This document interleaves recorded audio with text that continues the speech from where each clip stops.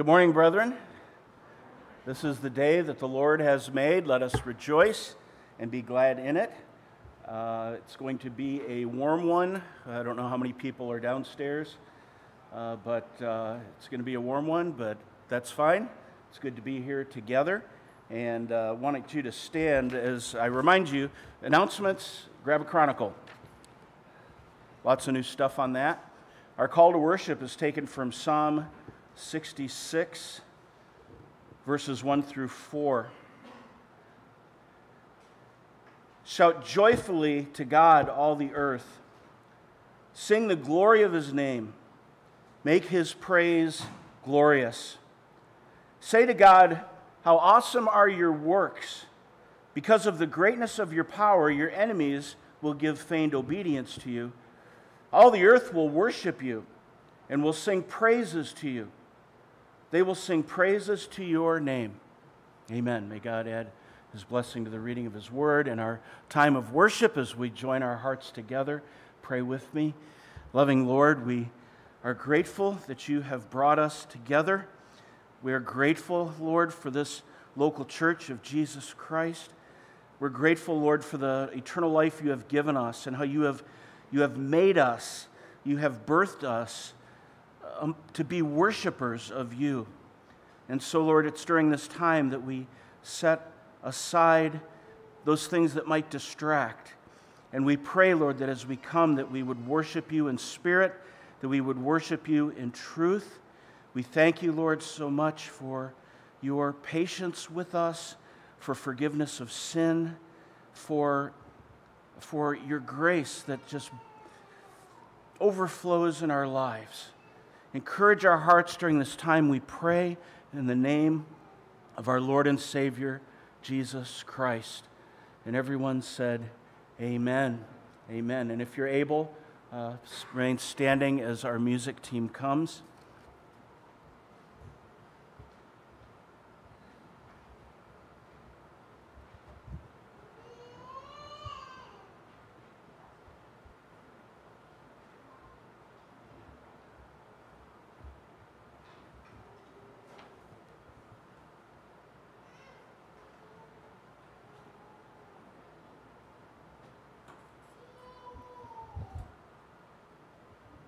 Good morning, everyone. Good to see you here this morning. Glad the Lord has touched your heart to be here. And we just lift him up this morning and just pray that this would just glorify him this morning. So let's sing.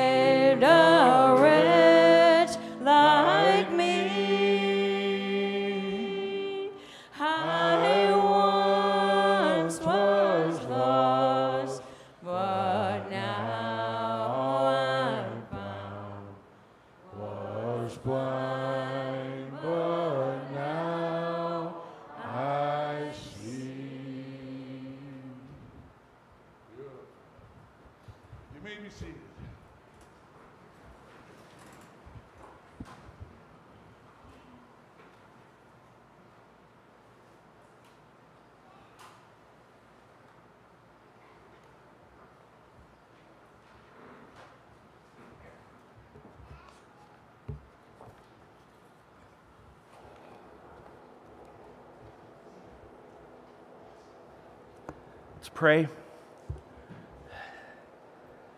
It is an amazing grace, Lord, immeasurable grace that has rescued, saved, justified, reconciled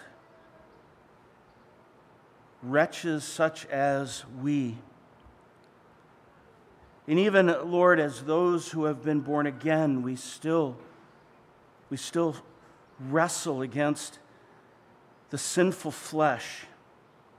And we pray, Lord, as we confess our sins, for that continued bounty of amazing grace, knowing the promise that we have that the blood of Jesus cleanses us from sin, from all sin. And we confess our willful sin, our sins of omission, our sins of commission, our besetting sins. We confess to you. And our only plea is the cross. Lord, we, we are so grateful that you have called us to be your people. We who once were not a people are now yours.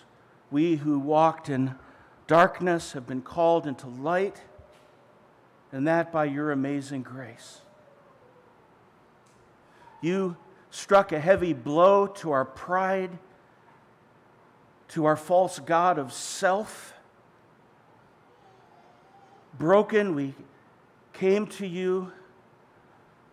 Unbelieving, we believed. Unrepentant, we repented. Serving ourselves, we have another Master and Lord, Jesus Christ. Continue to grant us that grace to delight in you to delight in the truth of the Word of God, to delight in prayer, even as we come now, your people, having sung praises to your name, and now we pray praise and glory to your name. We pray, Lord, for those within this congregation that are suffering one way or another. So many battling trials. And we pray, Lord, for them that they would learn to consider it all joy, that you would sustain them and encourage their hearts. We pray, Lord, for those that we know, some, Lord, within this church that are not converted. And we pray, Lord, that you would open their eyes to that amazing grace. We pray for revival revival in our own midst, revival in our nation. Even as we pray, Lord, you, you have been merciful to this nation that you have seemingly given over. And yet, Lord, we know that you will build your church, the gates of Hades will not prevail against it. Continue to build this local church all churches, Lord, that are faithful to your word. We pray, Lord, for our missionary of the week, the Jabellos. We pray for Caleb and Melissa in Papua New Guinea, along with their children, Elijah and Bella. And uh, Lord, would you give them a, a blessed week this week, a blessed month in July. We pray for them as they, as they continue to sow the seeds of a church among these unreached peoples. Give them strength and wisdom and health. And we pray for our sister church in North Ridgeville, Ohio, Cornerstone Bible Fellowship. Lord, we're thankful for them. We pray for Pastor Dunn and pray that you will strengthen him and bless their ministries of biblical counseling, their ministries of preaching and teaching. We pray, Lord, for their upcoming VBS and pray that that goes well, that it's a, a good ministry to the kids and an outreach, Lord, to those that know not Christ. We pray, Lord, for this church member with cancer, and we pray that you might bring healing to the body, strength and encouragement to the soul. And Lord, as we, as we continue this morning, this, this warm but beautiful day, we pray for our brother, Pastor Dave Theobald. We're thankful, Lord, that he was able to join with us by your appointment today to minister the word. And Lord, would you use him and pour out your spirit upon him as he ministers that precious word to our hearts. And so, Lord, we thank you. We praise your name. May this first day of the week just lead to a, a wonderful, uh, wonderful uh, overflow of blessings in the days to come. And we ask these things in Jesus' name. Amen.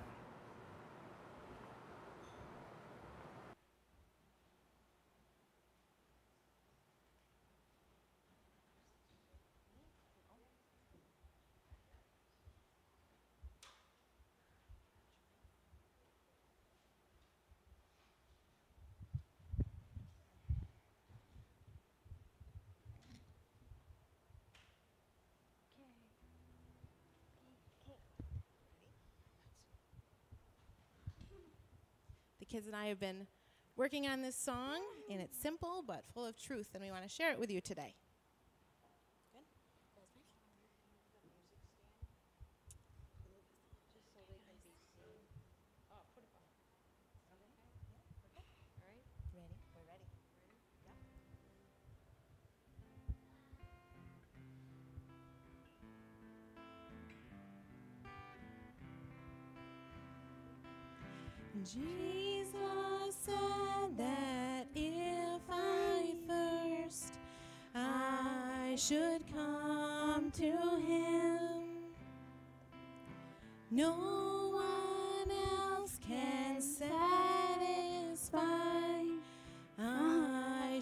Come to him.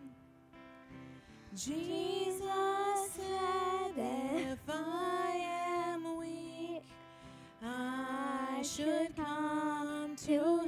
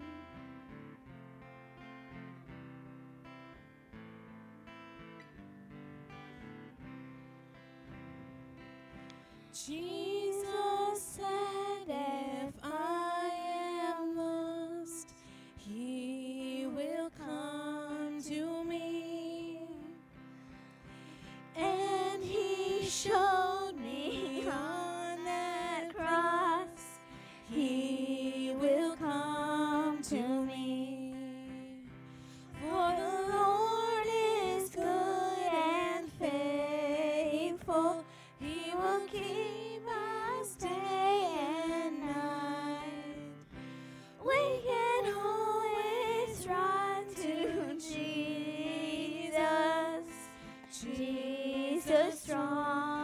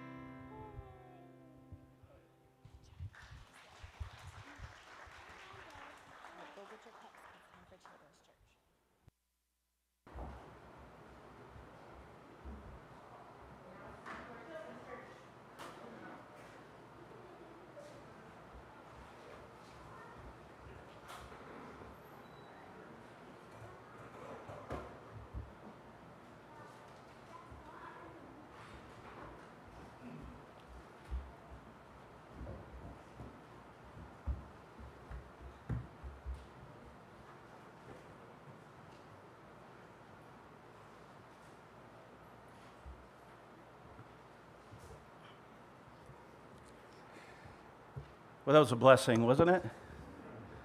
Day filled with blessings, and we have another blessing, and that is uh, having a friend of mine that I've known for a number, number of years, Dave Theobald, uh, here to uh, share the pulpit and uh, preach from the Word, sharing with us. And uh, I know known Dave, I think probably through Reed Ferguson, and then going back to the Reformation Society of Western New York, which the leadership of which Dave has picked up from Reed. And uh, so I participate in that group, which is uh, just a tremendous blessing when I'm able to make it, anyways. But uh, it's a, a, a very good ministry that Dave has. Uh, Dave has been preaching elder at Grace Baptist in Dansville since 2010. Uh, I didn't realize this, but he's a native of Canada, uh, earning his Bachelor of Science degree in biology from the University of Western Ontario. He has an, a Master of Divinity and a Master of Theology, both from Southern Baptist Theological Seminary in Louisville. Uh, for his master's thesis, I got to read this one, Dave. He, he wrote, Humor and Truth Towards a Christian Theology of Laughter an honest look at the redemptive role of ridicule in the Christian life. Interesting. We gotta gotta get a hold of that, uh, Dave, and so I can justify my ridicule of others. I guess I don't know. But while while in Southern Seminary, he had the privilege of serving as research assistant to the president, Dr. Mohler, I presume, and uh, he regularly teaches theology in South America in conjunction with the Seminario Reformando Latino Americano. Pretty good, wasn't that? See, it's the Italian, it's the Italian in me. Uh, Dave is a committed expositor of God's Word who shares a passion with us for the doctrines of grace. In his spare time, he enjoys spending time with his dear wife, Jamie, and their two sons, Job and Jonathan. And so it is my joy to uh, turn over the pulpit at Christ Church to uh, my dear brother, Dave Theobald. Let's give him a Christ Church welcome.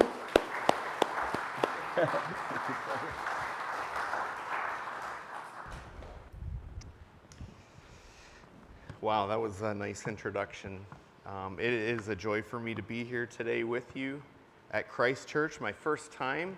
Actually, I think this is my first time in Clarkson, so uh, don't ridicule me too much about that. It's a beautiful little town and an absolutely gorgeous church. I'm sure you, you know that, um, but um, when people see it for the first time, I'm sure uh, it's always the same expression of surprise and delight.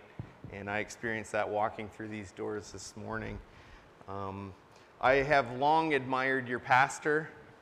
Um, I'm sharpened every time that I get to interact with him and hang out with him. I'm so glad he's part of our Reformation Society, and I'm very fortunate to be able to call him a friend.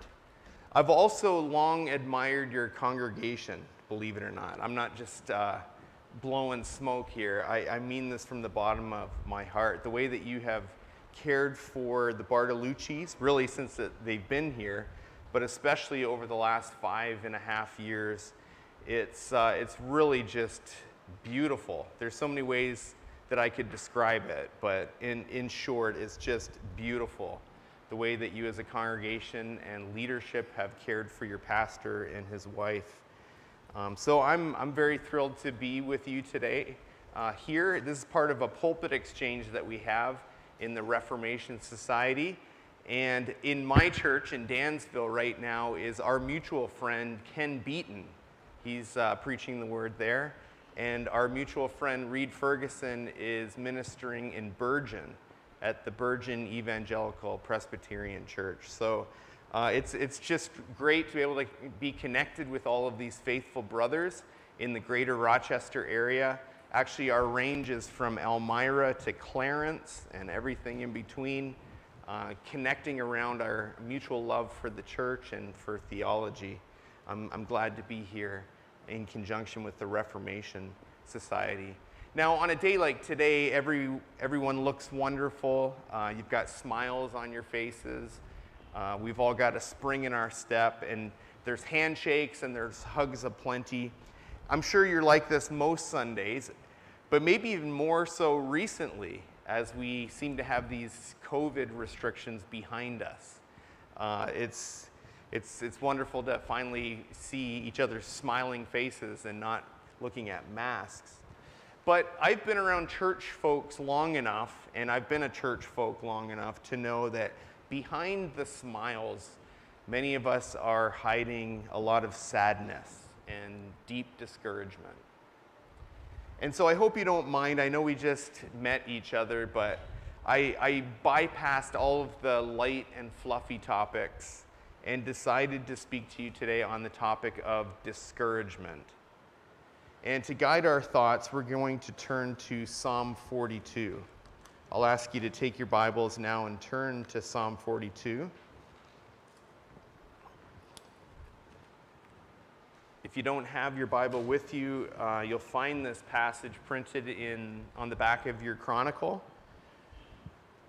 But I'd encourage you to um, keep your Bible open after I read this chapter because everything that I want to share with you, I want to share from, from the Word. I, I have nothing original, I have nothing wise in and of myself. I want to simply share with you the truths that are found in God's Word. So uh, let's read together Psalm 42, and I'll ask you to stand out of reverence for the reading of the Word of God. You follow along in your copy of God's Word as I read from mine. I'll be reading from the English Standard Version. Psalm 42. This is a psalm to the choir master, a maskil of the sons of Korah. As the deer pants for flowing streams, so pants my soul for you, O God. My soul thirsts for God, for the living God. When shall I come and appear before God? My tears have been my food day and night, while they say to me all the day long, Where is your God? These things I remember as I pour out my soul, how I would go with the throng and lead them in procession to the house of God, with glad shouts and songs of praise, a multitude keeping festival. Why are you cast down, O my soul, and why are you in turmoil within me? Hope in God, for I shall again praise him, my salvation and my God. My soul is cast down within me, therefore I remember you from the land of Jordan and of Hermon, from Mount Mitzar. Deep calls to deep at the roar of your waterfalls. All your breakers and your waves have gone over me. By day, the Lord commands his steadfast love, and at night, his song is with me, a prayer to the God of my life. I say to God, my rock, why have you forgotten me? Why do I go mourning because of the oppression of the enemy? As with a deadly wound in my bones, my adversaries taunt me, while they say to me all the day long, Where is your God? Why are you cast down, O my soul? And why are you in turmoil within me? Hope in God, for I shall again praise him, my salvation and my God. This is the word of the Lord. Uh, you may be seated. As we look to God's word, I want to show you three main things about discouragement that emerge from Psalm 42. I trust they'll be of some help. Uh, number one, uh, I want us to look just generally at the experience of the reality of discouragement, experiencing the reality of discouragement. And secondly, we'll uh, turn and seek us an explanation as to the root of discouragement.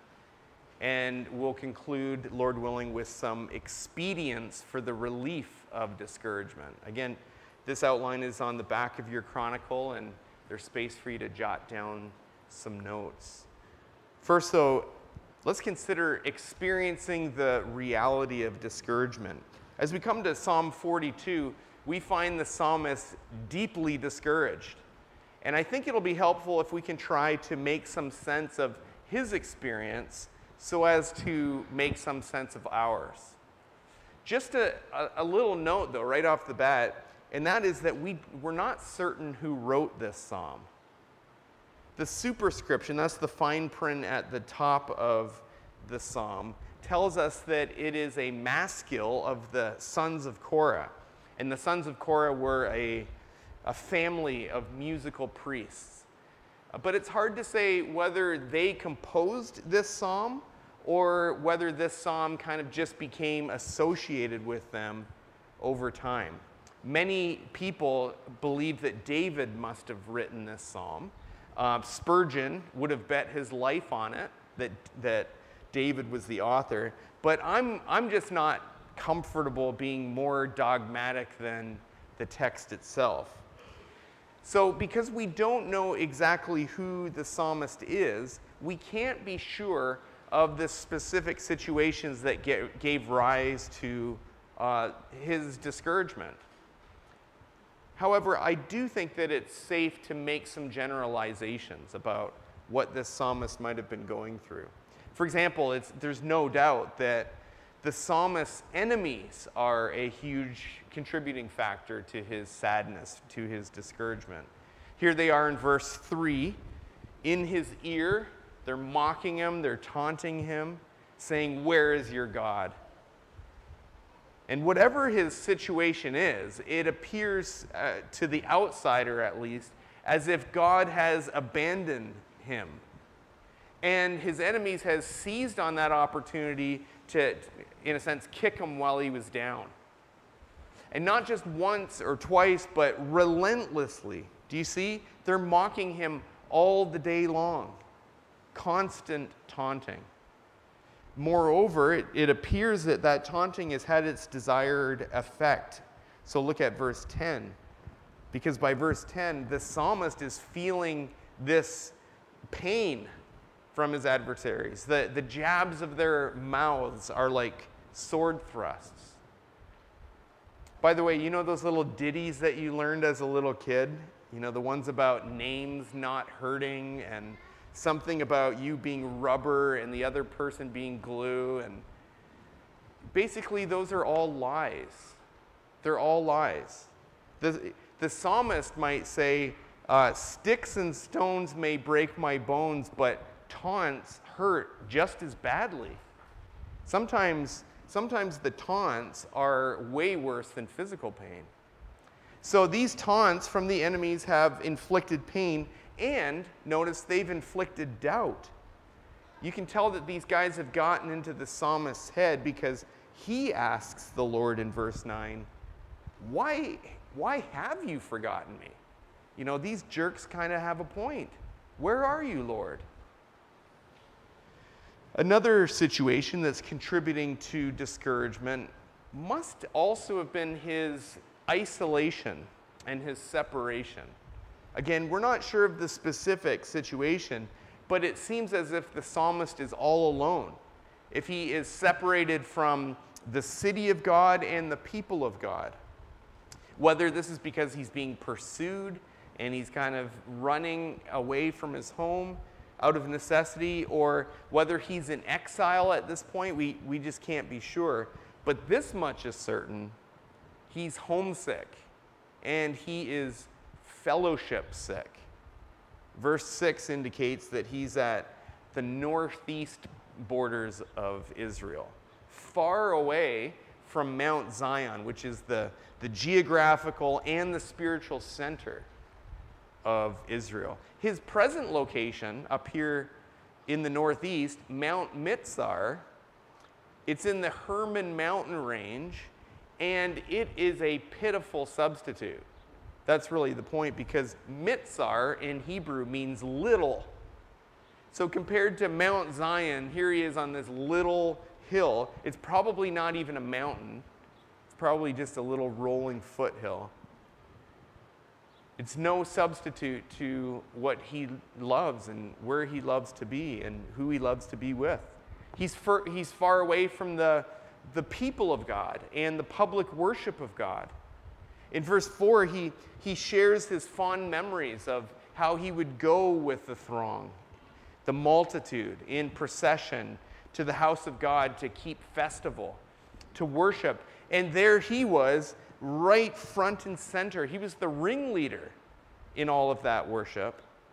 But now he's away from all of that and he's all alone.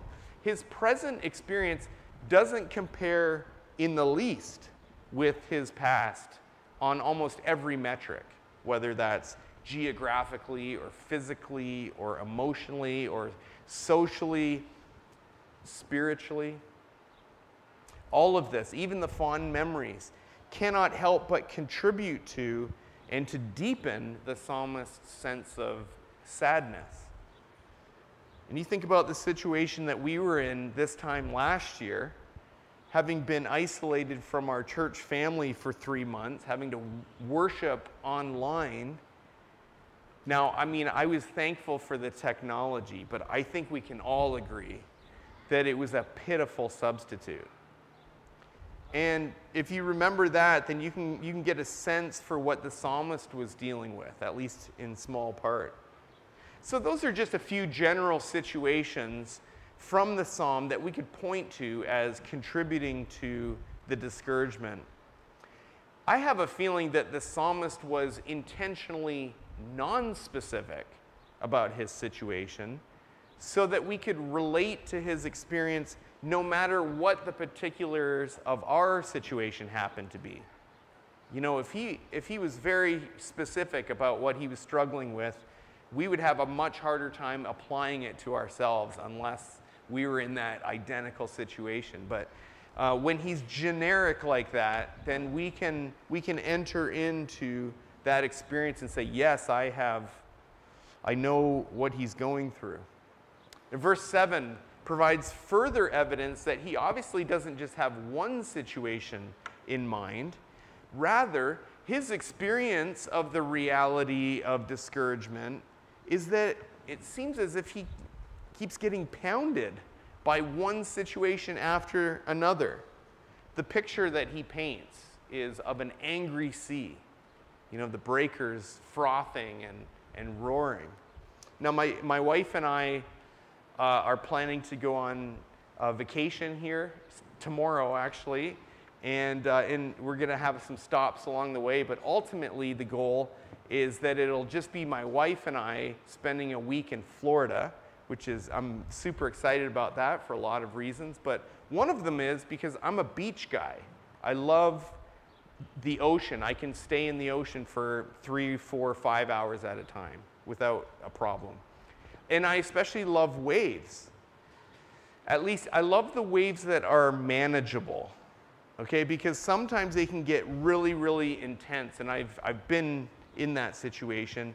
And one wave comes pounding um, down on you and it knocks you back off your feet. And just as you're standing to your feet and rubbing the salt out of your eyes, here comes another one pounding you. It- you don't even have time to brace for it. And on and on it continues. You're just getting hammered. And this is how the psalmist describes the experience of discouragement, except that it's, you know, it's not fun. He's not having a blast out in the ocean. No, situation after situation is crashing down on his head and is knocking him off his feet. And to him, it feels like a conspiracy. You see this expression here in verse 7 deep calls to deep you know, the scholars aren't sure exactly how to render that, but I think the best explanation it has is that this is a sort of conspiracy against him. So it's as if it's as if one wave, deep, is calling out to the wave that's coming behind it, deep. So deep is calling to deep. Okay, hey man, I'm gonna pound this guy, and right when he gets up, you pound him, okay? And then tell the deep behind you to pound him. So th- that's just so descriptive to me. It's, it paints such a picture. And so often, this is exactly how discouragement feels, right? Just one thing after another, pounding you, knocking you off your feet. And we use another water expression. We say something like, about a series of discouragements, we say, well, when it rains, it pours. That, that's our experience. And I, I just wonder if you are experiencing the reality of discouragement this morning. Are you, for example, are you discouraged by the direction that our country seems to be going and the lack of principled leadership and character of those in office, both parties? Have you lost heart because despite your best efforts at disciplining your kids, it doesn't seem to have any effect whatsoever? In fact, if it's even possible, their behavior seems to be getting worse the harder you try to rein it in. I wonder, is your soul downcast because, while it seems like every other married couple seems like they have a great relationship, your relationship with your spouse is getting more and more distant every year. It's like you can't even get on the same page about anything anymore.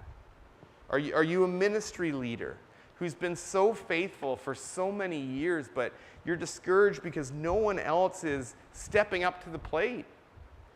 No one else, it seems, has a passion for serving. Are you growing weary in well doing, as scripture puts it?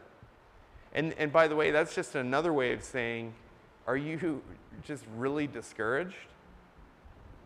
Are you, like me, discouraged with the exceedingly slow rate of your sanctification?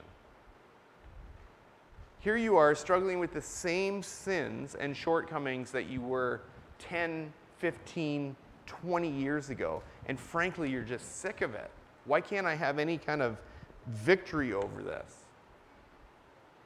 So, uh, how are you doing?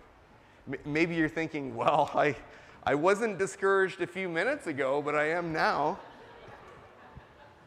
S- sorry about that. But that's just the reality. In this fallen world, there's all kinds of situations that, that might lead you, that will lead you to experience deep discouragement. Well, there's a whole lot more that could be said about the experience of discouragement as a reality of life in this broken and cursed world, but, but we need to move on.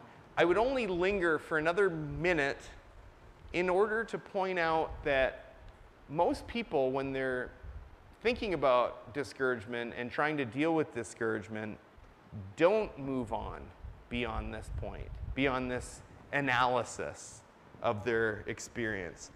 What I, what I mean is that many people seeking relief from the darkness of their discouragement simply try to tinker with the details of their particular situation. You know, if they can just change or avoid uh, the situations that contribute to their discouragement, then they suppose that they could avoid or relieve their depression. And, and other people just kind of give free rein to their symptoms and, and their emotions. They, they think and they act as if they are slaves to their emotions that they experience in the midst of depression. And I want to just suggest to you that, that those approaches are just far too superficial. And, and because they're superficial, they're, they're sure to only bring just superficial and temporary relief. You know, it's, it's kind of like how I weed my garden, uh, which I have to do around this time of year. It seems like almost every week. And most of the, maybe this is why I have to do it almost every week, is because usually I just yank those things off at ground level and it looks good for a few days, but then they're, they're, the stupid things grow right back, and usually like bigger and stronger than ever. And I know this. I know that if I really want to make some progress, I need to get right down to the roots of those weeds and root it out. In the same way, if we want to experience some real relief from discouragement, we're going to have to move on from our mere experience. And we're going to have to dig deeper to the, to the roots. Therefore, what I want to do next is turn to, uh, or at least to offer, an explanation of the root of di- discouragement, the explanation of the root of discouragement. And the best way to really understand the nature of discouragement, I think, is to work backwards from the cure. You know, typically in medicine or in diagnostics, you work forward to the cure from the symptoms. You know, uh, you, you usually first need to understand the problem before you can offer an appropriate solution. However, sometimes the reverse is true. You know, in, in particular cases that are, that are pretty baffling and the doctors don't really know what to say or what's going on, sometimes they learn more from throwing different um, solutions at the thing and to see what's effective. And then from the effectiveness of a particular treatment, that sheds additional light on the nature of the disease. I, do you understand what I'm trying to say? I know that's a little confusing, but we're kind of working backwards here. Let me, let me see if I can give you an example. There's this curious medical condition, or a behavior really, called pica. Have you heard of this? I learned about this when my older sister uh, developed the habit of chewing ice cubes. And it was, it, you know, we all chew ice cubes from time to time, but hers was like all the time. And people with pica have been known to eat uh, paper or paint chips or even metal and glass. Pregnant women are sometimes found to consume handfuls of dirt. Have you heard about this? okay. Well, incidentally, they say that the, the red clay in my wife's home state of Georgia is particularly delectable. Just. But now, what's going on here? Uh, much, much more needs to be studied on, on this, but the early evidence seems to be that what might be happening is that the body is seeking out its own treatment when it develops a craving for this, these sort of non nutritive items. So the treatment, whether it be ice cubes or paint or metal or soil or fingernails or whatever, the treatment actually sheds light on the nature of the problem. And the problem seems to be that a person's body is lacking some sort of essential vitamin or some, some essential nutrient or element or whatever. And in my sister's case, her ice cube habit pointed to an iron deficiency. And who knows, they, they think that perhaps the bodies of pregnant women are instinctively trying to acquire vitamin B12 from bacteria in clay. which has the added benefit of relieving heartburn. That's just the theory. I, I don't want to get into dispensing medical advice here. I, I certainly don't recommend eating soil. Please don't go away from this sermon thinking that. I, I mean, if, if you're struggling with that, if you're pregnant, I would just recommend a prenatal vitamin and some Tums. But I'm simply just trying to illustrate the fact that sometimes we can figure out a problem by first seeing what relieves that problem. So let's see if we can get to the bottom of this condition called discouragement by using a similar approach. In the first place, I'm, I'm particularly interested in the symptom that we encounter at the very beginning of the psalm. Look at verses 1 and 2. It says, As a deer pants for flowing streams, so pants my soul for you, O God. My soul thirsts for God, for the living God. Listen, your body knows what it needs, whether it's iron or B12 or, or H2O. Your body knows. And you can only ignore your body's needs so long until it starts screaming at you with an angry thirst. In the same way, the soul of a redeemed sinner knows exactly what it needs. It has been created, it's been recreated to be nourished by God, to be nourished by the living God, the God of life. In discouragement, there, there's a major deficiency that the soul knows instinctively can only be satisfied by coming and appearing before the Lord. You see that in verse 2. So we could ask the psalmist. If he was here, we say, Psalmist, what has helped you in your discouragement? In, in the past, what have you ingested to slake your spiritual thirst?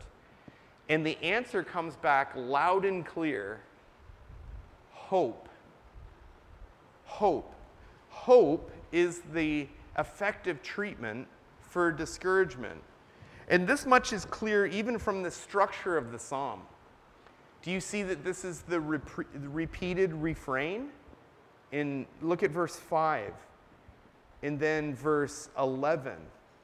And then later the same formula is reprised in Psalm 43, sort of an encore presentation.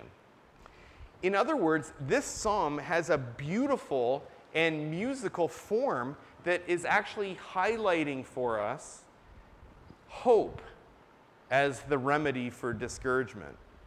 It reminds me of the kind of uh, structure that we see, for example, in one of my very favorite compositions of all time, that is Handel's Messiah.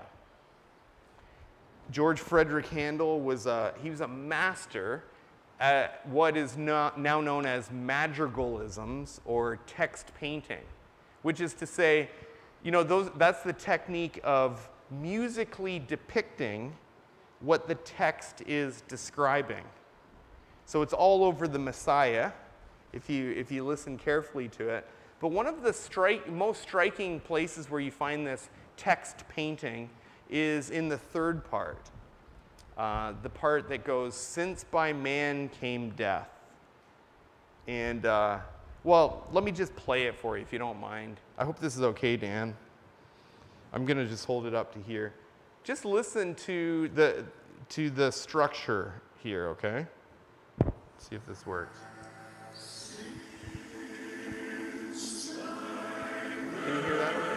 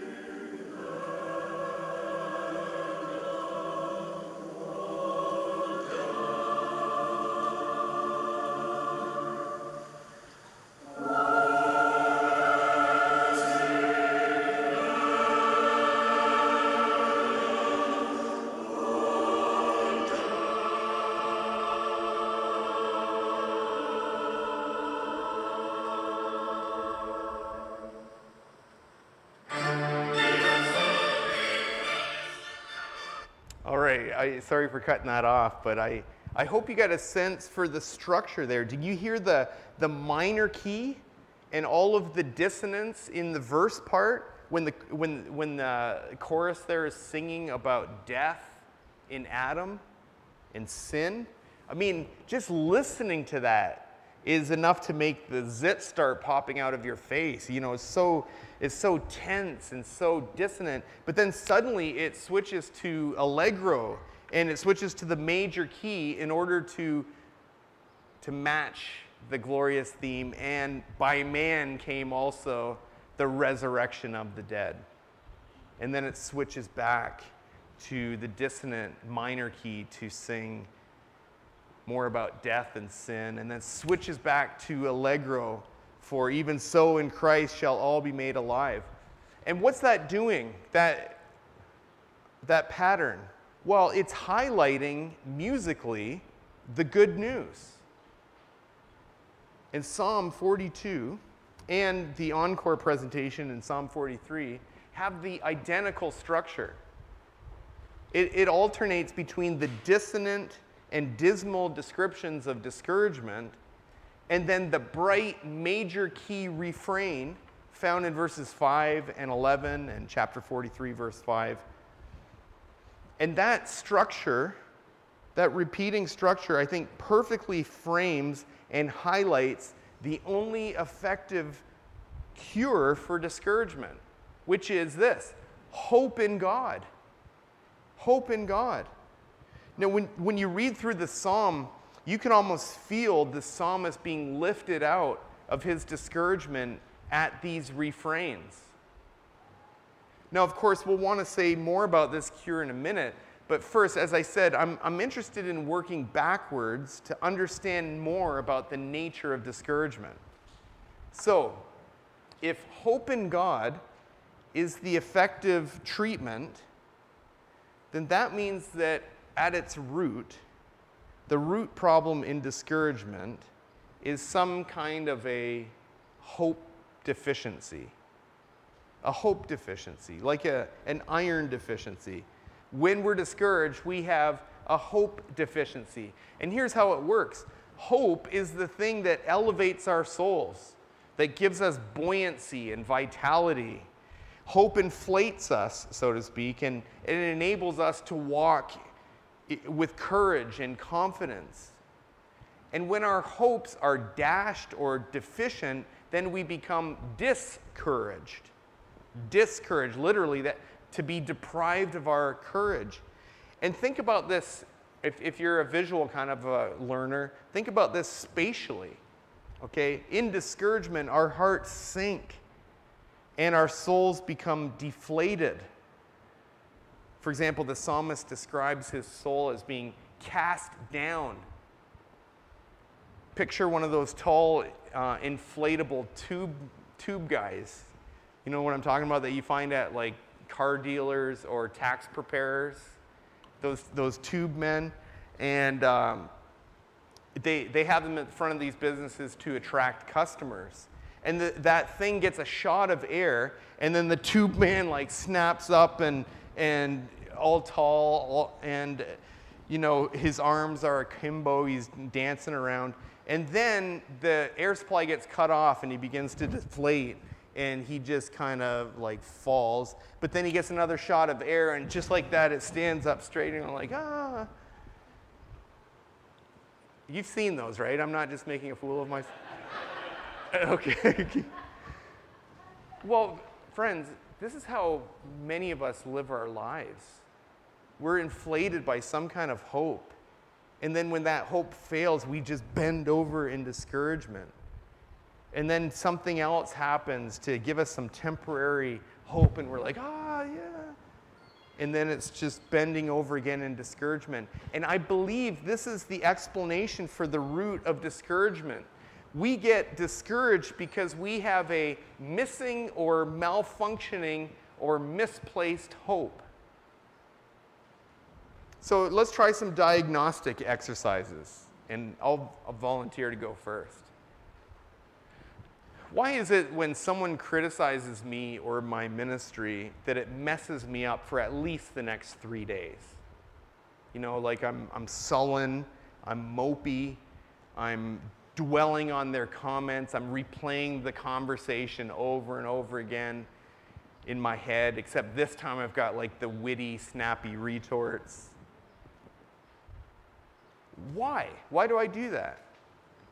A, a sober analysis leads to the inescapable conclusion that I must have had my hope placed in me, in my own strengths and abilities, or per- perhaps my hope was placed in other people. That the thing that was giving me courage and confidence in life and ministry was the hope that this other person or these other people were approving me and applauding me. And as soon as I discover that that's not the case, that they're not applauding me at all, then, then that hope, that misplaced hope, comes crashing down and it brings my soul down with it. What about you? Are you down and discouraged because it seems like the last three years it, it's been nothing but trips to the doctors and sickness on top of injury, on top of discouraging diagnosis? Why are you so deflated? Think about it. Do the diagnostic. Why are you so deflated? Well, you say it's, it's the, the situation. It's, it's the cancer, for goodness sake. Wouldn't you be discouraged if you got that diagnosis? And the answer is yes, I'm, I, I probably would be. And I certainly don't want to be glib about whatever difficult situation that you are finding yourself in. But if I understand this psalm correctly, we need to move past the specifics of the situation. We need to get past the symptoms and get right down to the heart of why you're discouraged and why your soul is so deflated. And can I suggest that what we might discover, if we trace it back far enough, is that your soul is deflated because your hope hose is kinked, if I could put it that way. There isn't any hope that's flowing into your soul. And what you need, what I need in these situations, is the kind of hope that kept the Apostle Paul from losing heart. The kind of hope that, that renewed and invigorated his inner man, even while his outer man was wasting away. Anytime you're feeling like you're drowning in discouragement, to, to switch to another of the psalmist metaphors, Anytime that deep is calling to deep, and, and the waves of circumstance just keep washing down on your head, every time, as the, one of our favorite hymns goes, when sorrows and sea billows roll, what you need and what I need during those times is a blessed assurance to control. When, when our souls are in turmoil, when we're tossed around like corks on the stormy seas. What we desperately need is hope. We, we need the kind of hope that the author to the Hebrews says is a sure and a steadfast anchor for our souls. The kind of hope that has gone through the curtain and touches the throne. And you might be wondering, well, yes, but is there such a hope? And I'm well, let's just let the modern hymn writer Stuart Townend answer that for us. Is there a hope? There is a hope that lifts my weary head, a consolation strong against despair. That when the world has plunged me in its deepest pit, I find the Savior there. Through present sufferings, future's fear, He whispers courage in my ear. For I am safe in everlasting arms, and he will lead me home. That's, friends, that's the kind of hope that we need. There is that hope to be had, and it's found nowhere else and in no one else but our God and Savior, the Lord Jesus Christ. Hope in God. Hope in God. Now, very quickly, and you've been very patient, but can I just leave you with a couple of expedients for the relief of discouragement? Expedients for the relief of discouragement. And these all have to do with strategic ways that we can hope in God so as to be lifted out of discouragement. And for the sake of time, I'll, I'll just have to be content to just touch on these. And I trust that the Spirit of God will flesh these out in you as you meditate on them and think about putting them into practice. So, the first expedient is prayer. And please don't just like turn off your brains right now because that's an obvious Sunday school kind of an answer. This is a real expedient prayer. And this is what the psalmist does. In his discouragement, you'll notice that he doesn't just gunny sack his feelings. Rather, verse 4, he pours out his soul. Verse 9, he addresses God with all of his questions. And he brings all of his hurts to the Lord. He says, You know, I say to God, I say to God. And friends, what he's describing there is prayer. It's when you say these things to God. And I believe that God welcomes this. he desires that.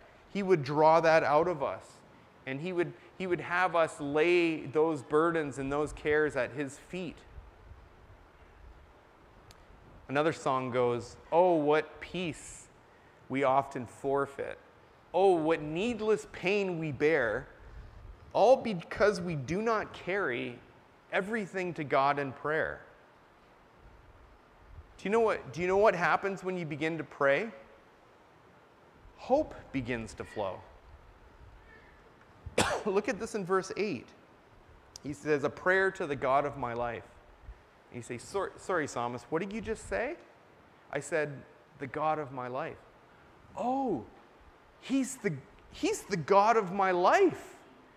Yeah, keep going. Verse 9 I say to God, my rock, why have you forgotten me?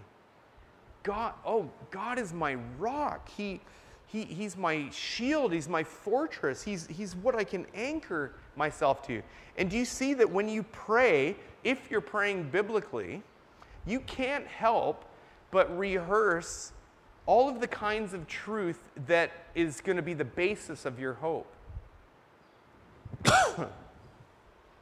The second expedient for the re- relief of discouragement is preaching. Excuse me. and here, I'm not talking about the kind of preaching that you sit under each Sunday from your pastor and elders. I'm not talking about the kind of preaching that you sit under maybe every day from your podcasts or your favorite preachers. Although, the sermons are undoubtedly going to fuel your hope. I'm not even here talking about the kind of preaching that we do Christian to Christian, brother to brother and sister to sister, where we admonish each other and encourage each other in the truth. And that, that also is going to be crucial, but I'm not here talking about those expediences. I'm talking about the kind of preaching that you do to yourself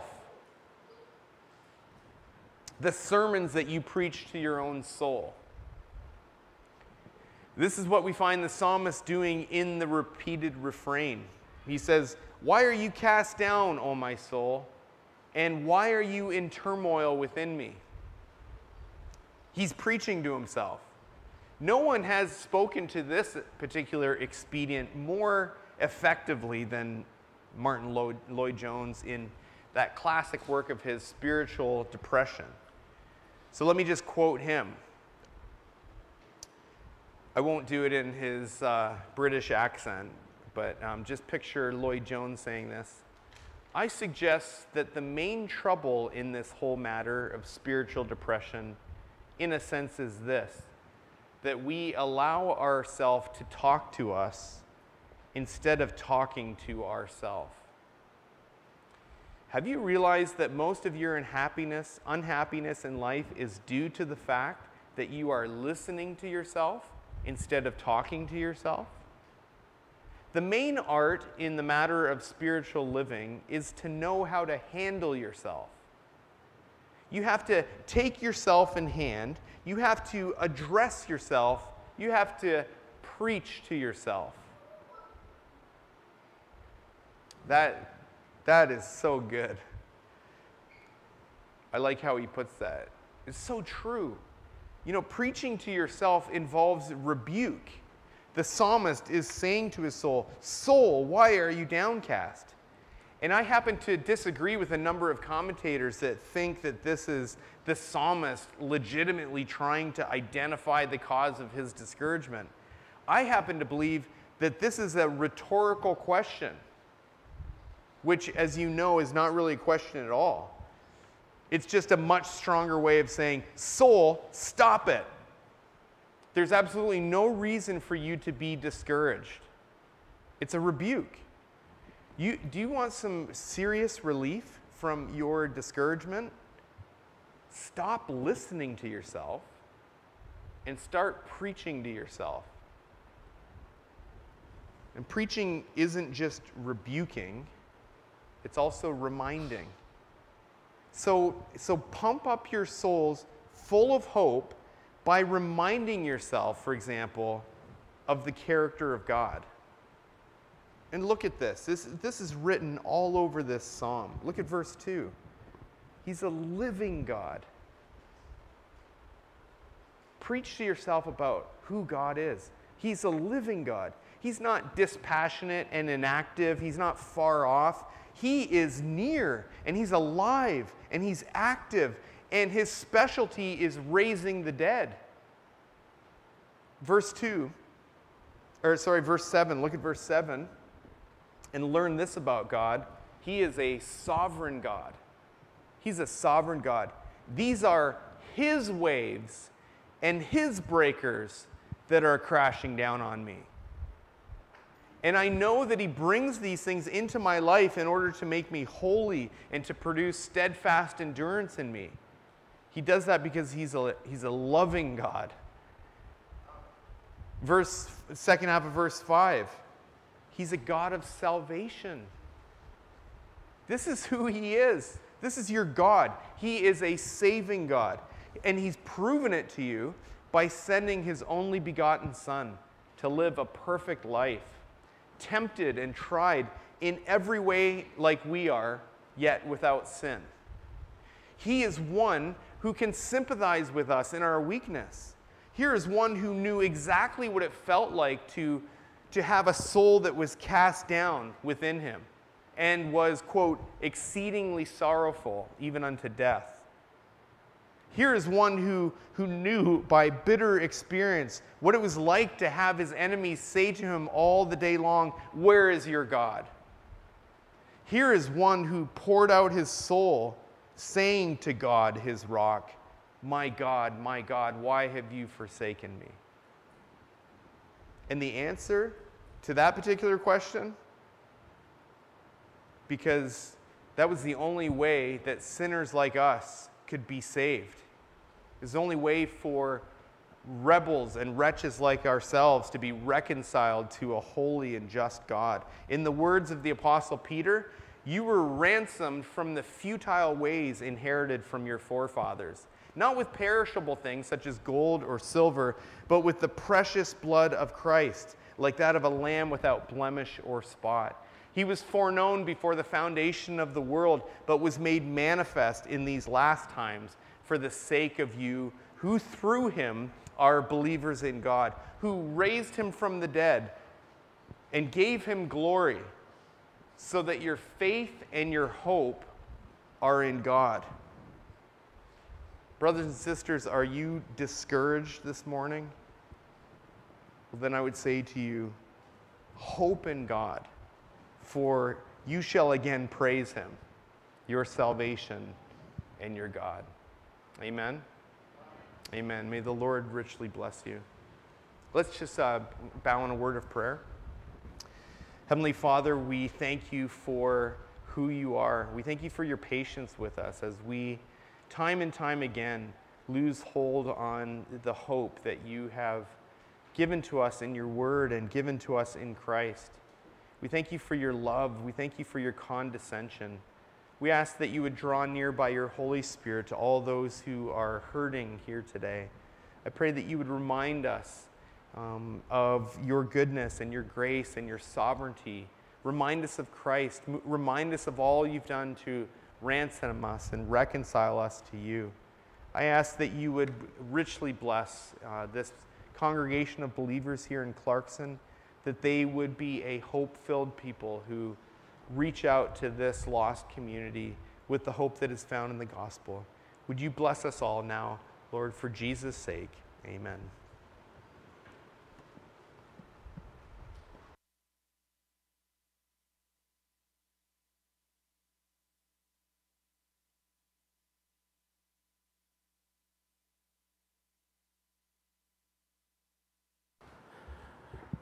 The old British preacher Joseph Parker once said, Preach to the suffering. There's a broken heart uh, in every pew, and you will never lack for a congregation. I think the same thing could be said for the discouraged. Uh, preach to the discouraged, uh, and you will never lack for a congregation. There's a discouraged heart in every pew. And uh, just appreciate the medicine, the truth that comes out of God's Word that helps us to deal with those things, to deal with those things that, that are common to the, the, the most godly, uh, the most Christ like struggle with discouragement from time to time. You see it throughout the pages of Scripture, God's choicest saints. Apostle Paul, David, uh, suffered with discouragements, and uh, so do we. But we have uh, we have God's Word and we have the hope of Jesus Christ and the resources such as prayer. And I really did appreciate uh, uh, the, the quote from Lloyd Jones on uh, talking to yourself, uh, preaching to yourself, preaching truth to yourself.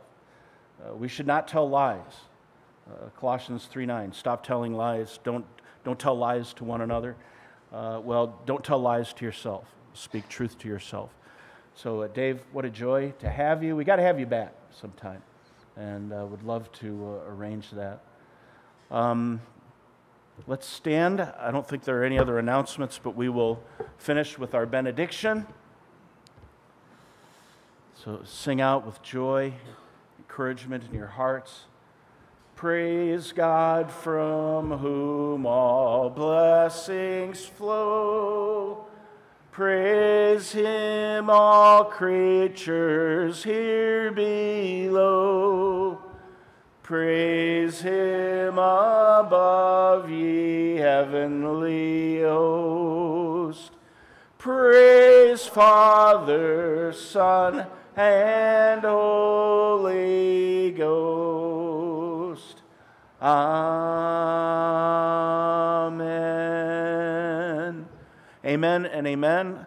Uh, brothers and sisters, I love you. You are dismissed. Greet one another on the way out.